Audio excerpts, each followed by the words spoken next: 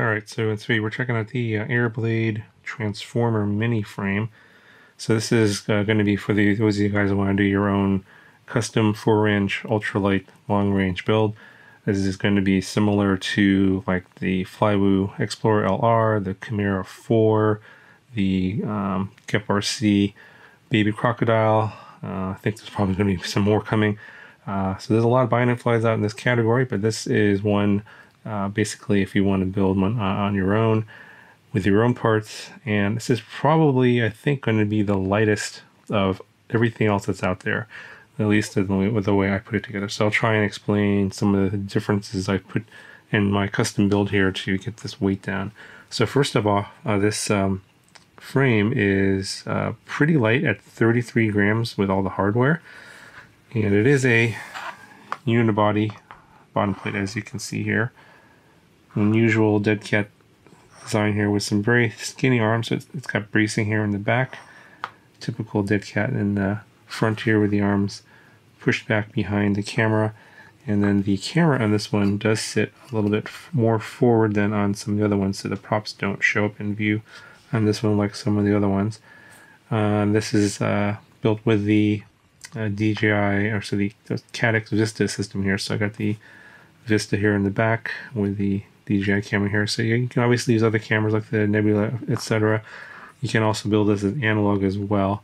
Um, you don't have to obviously build it as DJI, but you have mounting points here for a 20 by 20 in the back or 16 by 16 VTX. For the flight control stack, you can do a uh, whip style, which I which I have here, or you can do a 16 by 16 or a 20 by 20. So this holds for pretty much everything. Uh, you have this 3D printed part here for the GPS and the antenna. And I'm using a custom antenna here. This is the uh, Flywoo Atomic antenna, left-hand polarized and extra long. It's 15 centimeters long. That's to get a very good signal and away from the frame and actually get pretty good range with this one.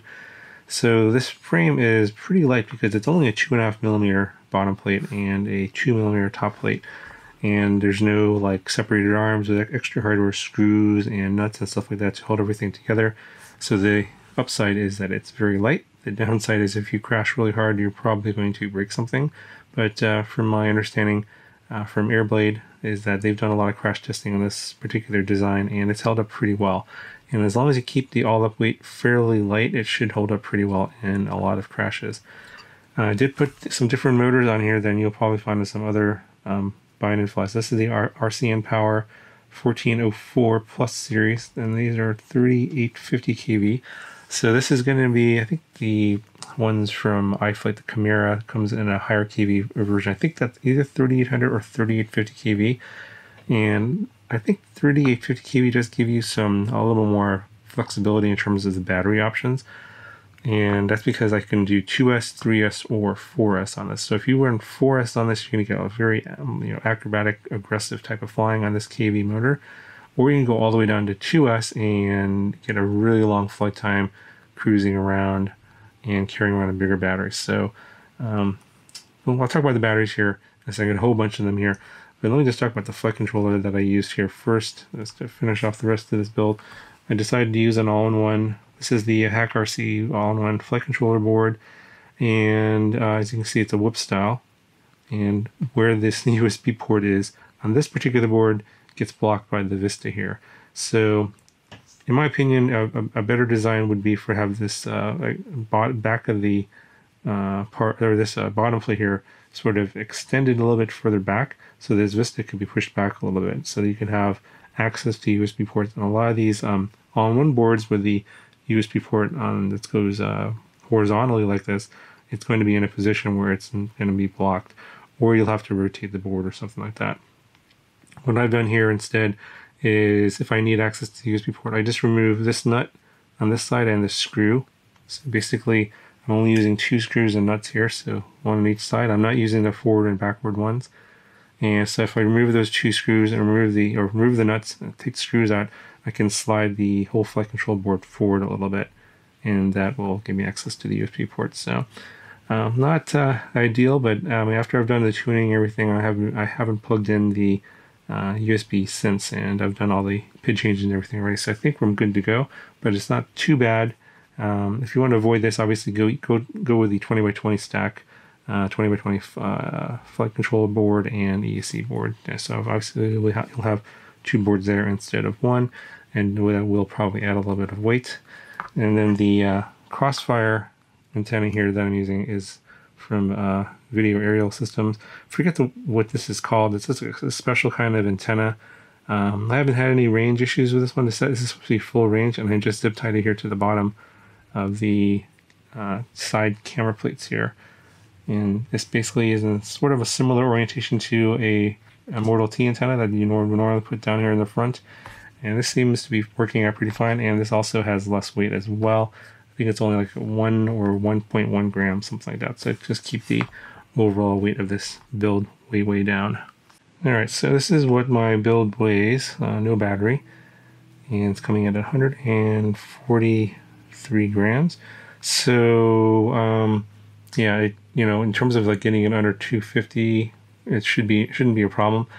Now, if you decide to use a naked GoPro, so this is the uh, naked GoPro mount and the, the BetaFPV V2 case, and this actually has two screws here that goes like this right here. So if you have this on here, the weight goes from 143 to 174 and then uh, the, probably the most typical battery that I flew around is this one here, the 1000 milliamp hour Auline 3S. And uh, it's a low C battery, but you're just cruising around, should be fine.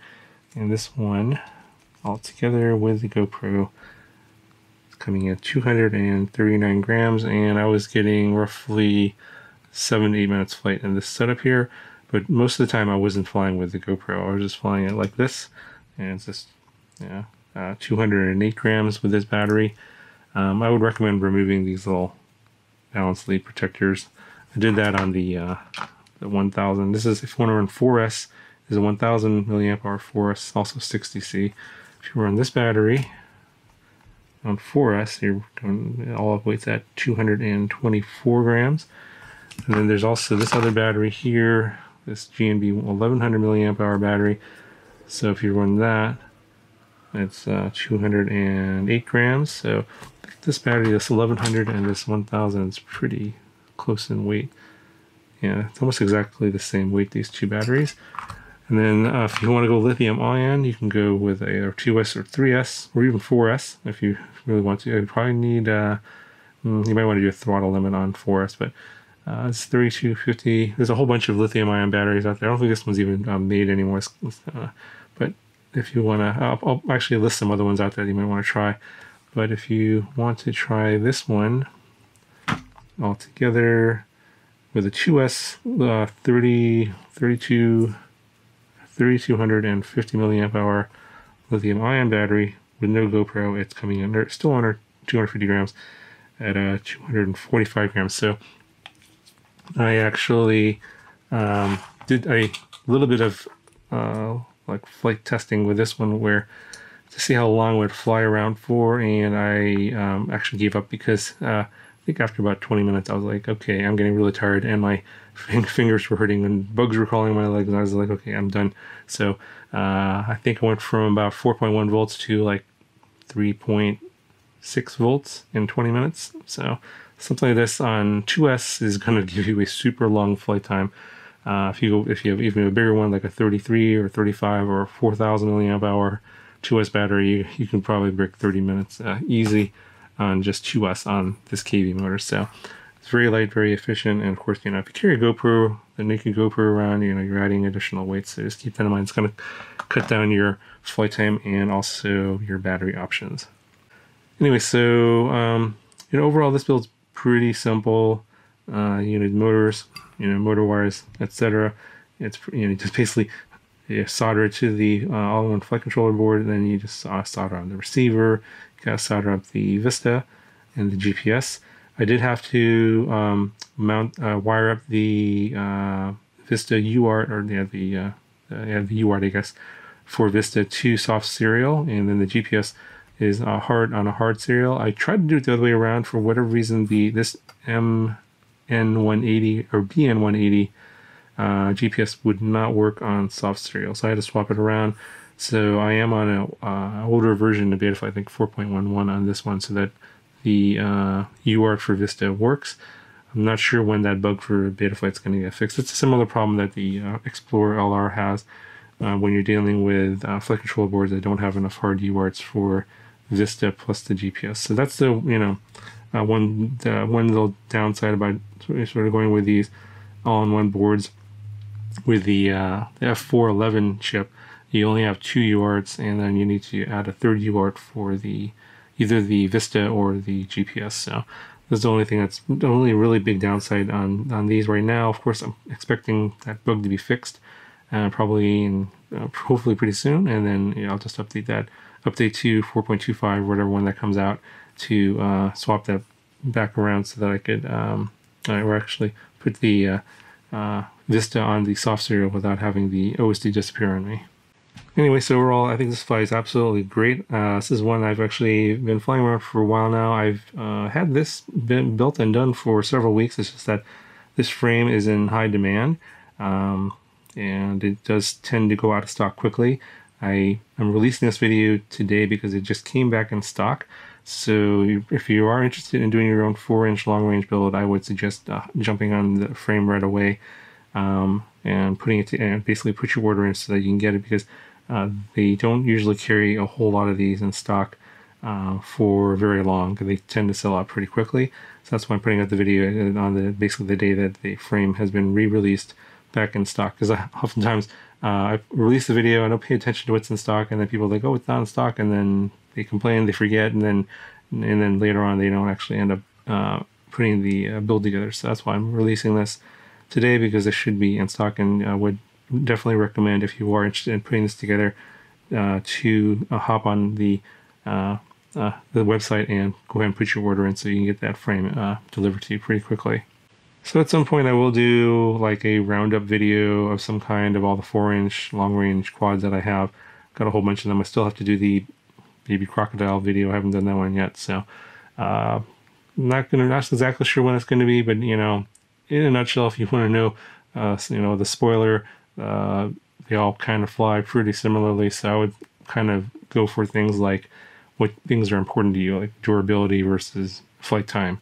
Um, you know, that kind of thing, or which company you prefer would be uh, better for you, like in terms of customer service, that kind of thing. I think those things are going to be more important than the actual performance because performance on something like this as a cruiser on a four inch, it's going to be more about flight time and overall weight and not so much about durability, but more like, you know, you know, which, which you know, which one's, uh, which one costs less, um, you know, that kind of thing. I think those are the kind of things that are going to be probably more important in my opinion. Of course, what's important to you might be a little bit different. Anyway, I'll have that run a video some point soon, hopefully. And yeah, uh, here's some flight footage for you. I'll have links to additional flights down in the description because I flew this quite a bit, quite a bit. So if you want to see how this flies on like other batteries, uh, those will be down in the description as well. And I'll talk to you guys in the next one.